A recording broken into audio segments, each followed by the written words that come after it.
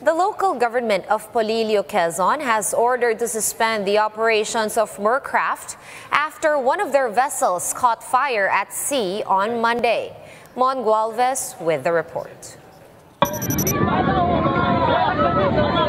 At least seven people were declared dead and dozens were injured after this fast craft vessel caught fire as it approaches Real Quezon. While some passengers were able to jump off, some were said to be trapped inside the vessel.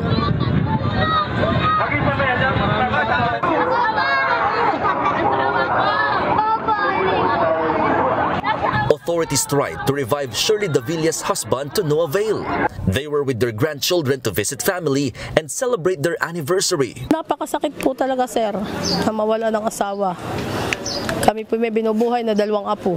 Ito po yata ang anniversary sa akin na tadhana. Wally Calleja considers himself lucky to have survived. Ako na wala ng malay ay. Oo, nung ako yan, hindi ko na alam. Talagang gawa na ako eh, sa dami na nainom kong tubig.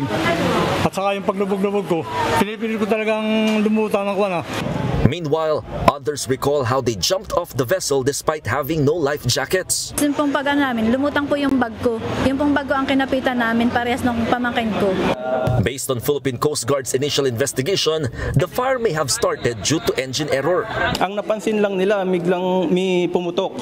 Pumutok sa ilalim, sa, ah, ang ano namin sa engine room. At pagkasunod noon ay apoy na. It's either nag-overheat or nag, ah, may something doon na ah, related doon sa engine ng barko na biglang pumutok. A board of marine inquiry has also been convened. This is the second time Mercraft has been involved in an accident. The first was in 2017 when one of its vessels sank.